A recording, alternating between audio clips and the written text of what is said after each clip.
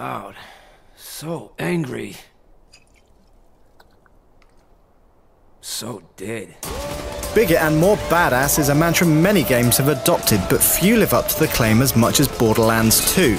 The success of the first game has enabled developer Gearbox to make a game that's much more ambitious in every way, yet retain the hallmarks that made the original so loved. At its heart, it's still a first person shooter, but one that has role playing elements weaved to its core. No other shooter takes its protagonist on such an evolutionary journey, one where every bullet fired and every decision taken shapes the experience and indeed the character you play as. Each character's skill tree is more varied than before, giving you a greater choice over the direction in which you develop. You're able to shape your hero further still using badass points, plus you can swap out the way you look by dropping by a quick change kiosk.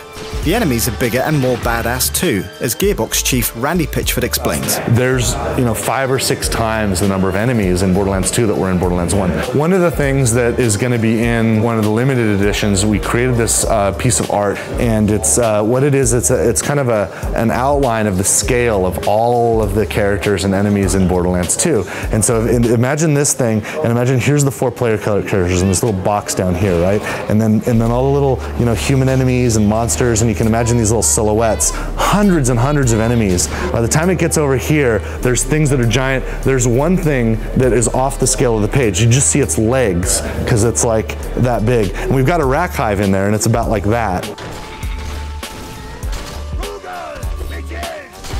Gearbox has also worked hard on the way the enemies react in battle, and different opponents behave in different ways.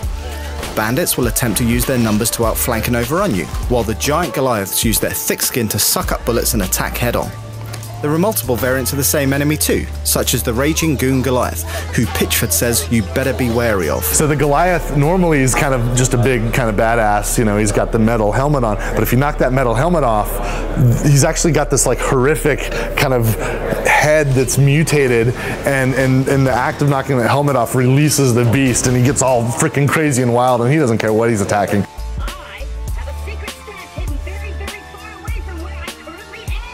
In addition to a beefed up enemy roster, many familiar faces return.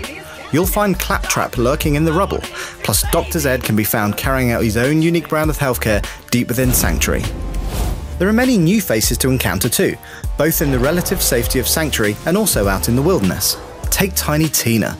This pint-sized psycho has a beef with a bandit named Fleshstick, so she calls on you to invite him over to sort out their differences. This being Borderlands, there's no polite discussion over a cup of coffee, but instead the bandit is fried alive while you keep his mates at bay using the thing you know best brute force. Interestingly, this is one example of the failable missions in Borderlands 2.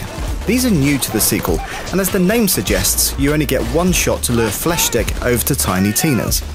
Screw it up and you don't get a second chance, or indeed the reward for successfully completing the mission.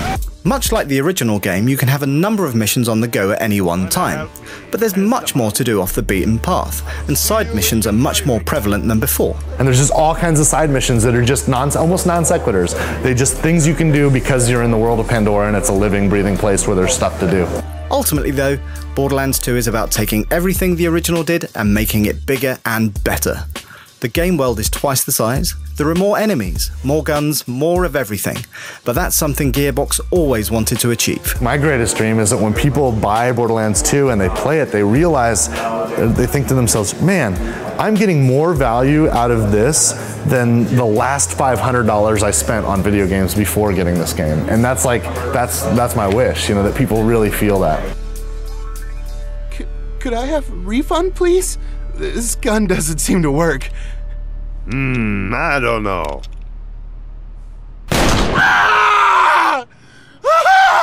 Looks like it works to me. For more on Borderlands 2, stay tuned to IGN.